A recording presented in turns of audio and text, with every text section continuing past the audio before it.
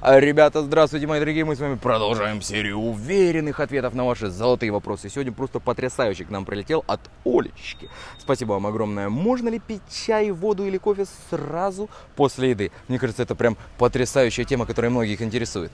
Поехали! Ребята, вообще всех, кого интересует история, можно ли пить во время еды, очень часто мы слышим о том, что нельзя, это прям вредно. Вы знаете, откуда вообще в принципе взялась эта история? Эта история к нам приходит э, от абсолютно реального расстройства, которое называется ленивый желудок. Что это такое? Это когда э, желудочный сок, вырабатывающийся э, в ответ на э, то, что вы скушали, не имеет достаточно низкий pH. И поэтому вы все съели, и у вас э, вот камнем, как говорится, лежит. Тогда нужно э, пить какие-то дополнительные пищеварительные ферменты, чтобы облегчить. Знаете, как Новый год э, проходит, и все прям напьются алкоголя, используют какие-то некачественные жиры, и потом, о, дайте мне какой-нибудь мизим, я прям не могу, я умираю. Вот это синдром ленивого желудка, только без алкоголя и некачественных жиров.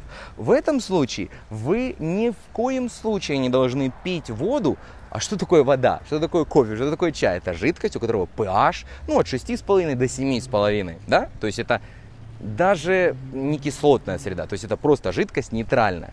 А ваш желудочный сок имеет pH 3,5 и ниже для того, чтобы переваривать все, что вы съели. Поэтому, если вы съели, например, какую-нибудь котлету с, э, ну, скажем, салатиком, у вас pH высокий ленивый желудок, оно у вас там все лежит, вы еще добавите воды, разбавите ваш желудочный сок, и, собственно, ничего не произойдет.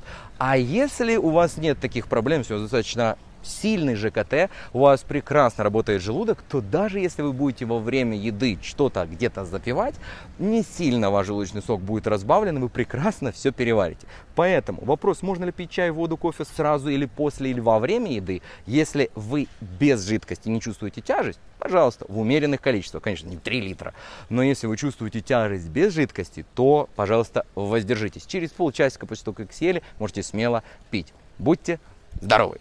Ребята, дорогие мои, приглашаю вас от всего сердца, раскликивайте описание этого видео, и там внизу вы найдете информацию о ближайшей дате старта нашего мощнейшего проекта, который называется ПГ Марафон. 21 день нашей совместной работы, где мы с вами избавляемся от лишних килограмм, укрепляем наше здоровье и становимся увереннее здоровее, тренируемся и готовим вместе. А самое важное, это наше личное общение. Смело, уверенно раскликивайте описание этого видео, отправляйте вашу заявку, потому что ближайший старт уже не за горами. Жду вас!